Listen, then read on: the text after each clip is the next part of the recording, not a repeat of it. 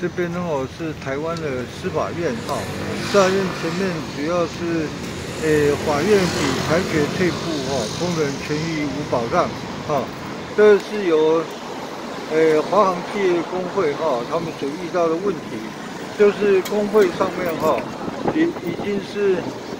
诶劳动部已经裁决这个，呃华航公司哈，这个违反。劳基法哈，结果司法院却开倒车哈，认为方没有违反哈劳基法，所以这个问题非常严重哈。但有方工会理事长刘慧忠，还有这个台北市啊产业总工会、桃园市产业工总工会秘书长哈叶景瑜，还有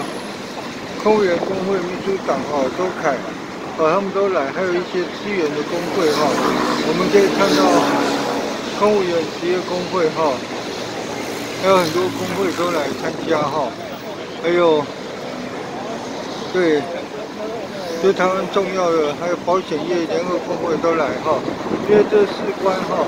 工会的基本权益哈，所以我们非常的重视，特别来这里哈来进行声援的活动。白月工会哦，像是弱势哈，所以在这方面的话，非常需要来增强。谢谢大家。